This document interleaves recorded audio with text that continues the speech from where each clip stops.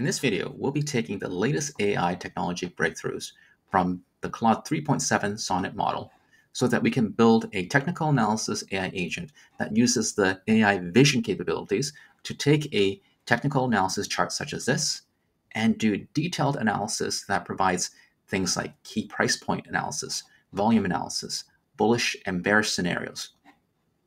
We'll also be able to couple the technical analysis with fundamental analysis using the Perplexity Internet Search with DeepSeek R1 reasoning. We'll be able to produce detailed analysis with up to date information on the broader market conditions. Additionally, this research is backed by fully cited sources.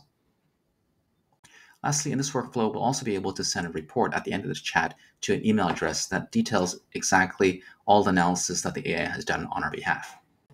All right, let's see this workflow in action. So I'm going to ask it to do a detailed analysis, technical analysis for Bitcoin. So it's going to start uh, by this technical analyst uh, leader will uh, work with the Sonnet 3.7 model, and it's going to uh, call into this technical analysis tool, which then goes into this workflow here. So this workflow will start executing. It's going to look up the exchange that corresponds to this symbol. And in this case, it's going to return uh, with uh, Binance as the exchange. Then we're going to download the TradingView chart. And then we're going to then use the AI vision capabilities to take a look at the chart and then do a technical analysis of the chart. So we're going to go into here and then return the results. And now the technical analyst leader will take the results from this tool and then start synthesizing and produce a report. So it's come back and now you see a detailed report with price trend analysis. So it's giving you some context in terms of Bitcoin uh, in early 2025, the price it reached, and then it gives you further details on what's been happening recently. And then it's taking, it's giving you a view of the chart that it's analyzing, and then it provides more details in terms of the rel- relative strength indicator. So there's uh, analysis here of the chart as well as directional movement index, and further analysis on that it's done volume analysis, and then it's given you support and resistance levels as well, as well as key resistance points, and then the trading outlook. And then it's giving you a long-term perspective as well as a, uh, a conclusion from this. Before we continue the video, if you're enjoying the content, please consider joining our community today. As a supporter, you get early video access, priority replies, and exclusive posts and shorts. Community champions also receive additional benefits, so please hit the join button below and be part of our journey. Now back to our video. So that's a great starting point, but what if I want to do more in-depth analysis? I want to see what's happening in the market overall. All right, so I'm going to ask it, please do research on fundamental analysis and broader market context to help better inform a trading strategy for Bitcoin. So again, it's going to start uh, with this technical analysis leader, and it's now going to be using this perplexity tool. So perplexity tool will hit this tool here and call the perplexity API. And this API is using the uh, Sonar reasoning model that uh, allows us to have deep reasoning about the search results that come through. And then so it's going to return that response, and then the technical analysis leader will integrate that result back in. So it's realized that it needs to have further information from the internet through Perplexity. And now it's calling this tool again and uh, iterating through that. So this tool will also include citations. So all the sources will produce uh, highly cited information so that you can go back and verify the information is correct. So there's a, a built-in uh, fact checking as part of its analysis. So we'll wait for one more moment and look at the report. All right, the report is finished, and let's dive into what it's wrote. So through its research, it's uh, looked at fundamental drivers. So it talks about institutional adoption and talks about the regulatory environment for this. And notice these uh, these side notes here. These are references to the citation uh, below in the report. And then it's talking about uh, supply and demand dynamics, including some interesting uh, dynamics in terms of post-halving impact, and then uh, market sentiment analysis, bullish signals, bearish signals, and then based on uh, both the technical analysis and now the fundamental analysis, it's going to recommend trading strategy recommendations. So there's some uh, recommendations here for uh, short term, long term, medium term, and then some risk management considerations. Additionally, as you scroll down to the bottom of the report, you can see all the references that it's used to generate the uh, information from the report. So there's a traceability and verifiability that uh, is important that it provides.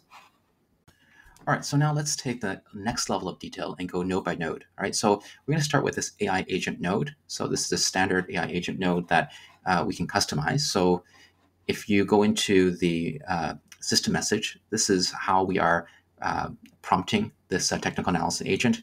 We're giving it general capabilities. Uh, we're telling it uh, what to do when we email, uh, how to do the technical analysis in terms of making sure that um, the graph URL that comes back uh, that it's displayed properly. And then we also give it some instructions on citation requirements. You know, how do we want the references to be displayed and and, and formatted? So this is um, all the information that we use uh, to prompt our technical analysis leader.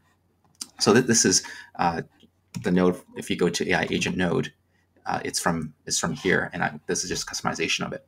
So now uh, we are using this uh, Open Router node. Uh, so Open Router is a service that provides just one key that you're able to then unlock all the different kinds of large language models. So we're using that as a really convenient way to access the uh, Claude 3.7 Sonnet model. So we're using that. This is the latest and greatest uh, with uh, the, the best in class in terms of uh, in terms of some of the abilities that we're, we're using. So then uh, we have uh, the technical analysis tool. So we can open that up. So the technical analysis tool, this is actually using this tool called call n8n workflow. So we're using this tool and customizing this. So this tool is, uh, we give it a name and then we give it a description. So this is, uh, this tool is useful for technical analysis of a stock. And then what we do here is uh, we uh, give it workflow inputs. All right, so this workflow inputs is basically how we communicate uh, to this node here. So if we open up this node, it's going to uh, have two inputs in the workflow, a message parameter, and this a string type, and uh, a agent uh, parameter, and that's a string type. So the agent parameter will tell it uh, which which path to go down, right? So is it uh, is it is it this path here of the technical analysis tool, or is it this path here for perplexity internet search with uh, R1 reasoning, right? So for the technical analysis tool, we set the uh, agent parameter to technical so that it knows, and then the message we just stated here that we, we want it to be defined by the AI, right? So by the model, it's going to uh, pass in the message. So in this case, we've told it that the message will be the stock ticker, right? So which stock to uh, to analyze. Uh, so it's going to go through this path, and then this uh, switch uh, is telling it, uh, you know, if the agent is technical, then it's going to go through one path. If it's set to perplexity, it's going to go down to this path. All right. So let's take the top path. So the top path, uh, the first thing we do is uh, we do a lookup exchange, right? Look up the exchange of that ticker. So this node here is basically uh, just uh, what's called a uh, basic LLM chain. So it's just one direct call to a large language model. And in this case, we're using uh, the Perplexity Sonar model. So this Sonar model has access to the internet, so you're able to do a online search. So in this case, what we're saying is, you know, please look up in the Trading View exchange for the following symbol and then uh, only output uh, the exchange as uh, the output for this node, right? And then we're doing the structured output parser. So all this is doing is that it's telling it exactly how to output uh, the, the string. So all, all I want is, you know, a, uh, a string that has the exchange, right? I don't want any other information. So this gives me ability to specify exactly what I want. So this uh, next node then is going to this trading view chart. So this trading view chart is um, a, a, instance of this HTTP node, HTTP node. So HTTP requests uh, and then customized, right? So this customization is uh, using this chartimage.com. So this chartimage.com here is where I can get a free API key and then uh, get images uh, based on TradingView that I can uh, pass into uh, the large language model vision abilities, right? So um, I, I, have that set, and so this will download it, and then from from this download, I'm, I'm going to uh, then actually download it. So I, I generate it from here and then I download it. And the next thing I'm going to do is uh, be able to um, uh, to analyze it. So uh, there's a prompt here for this analysis. So it's talking about this expert financial analyst, and then uh, you know some details on how the analysis should be done. So there's uh, quite a lot of uh, information here uh, that are specific to a technical analysis workflow. So we do that, and then from from here we're going to move to return the response value. Right. So in this response value, we're going to then go back to the tactical analyst uh, leader, and then uh, he's going to be able to integrate that into this uh, answer. Now, if I go down to the second path, right, is the perplexity tool. So this perplexity tool, once again, is uh, from uh, this uh, called n8n workflow tool. So here, so I take an instance of that and then I customize it. I tell it that this is useful for internet research, and then it can also be used for fundamental analysis of a stock based on the most information from the internet, right? So uh, this is what I do. And then uh, similar to the previous uh, tool, I uh, set the two workflow uh, input parameters a message and uh, agent. So agent, I'm telling it is perplexity. So what happens is that when this is called, it's going to go hit here, and then it's going to say, oh, the agent message is set to perplexity, and it's going to route it down this path. So then what it's going to do when it gets routed down this path is the first thing it's going to hit is this uh, Perplexity uh, API. So this Perplexity API is using this uh, uh this model called Sonar Reasoning, right? So Sonar Reasoning is uh, using the latest uh, DeepSeek R1 applied to um, applied to online searches, right? So this is how Perplexity offers this ability to do your internet search, but doing it in a way that's super intelligent, right? So we use this node to to provide that internet, internet research. And then this node here, uh, it returns not only the message, uh, the, the, answer, but also the citations. So, so, we extract out the citations, and that's how we're able to uh, get that information uh, back into the technical analysis agent who will then synthesize this and then uh, produce this detailed report.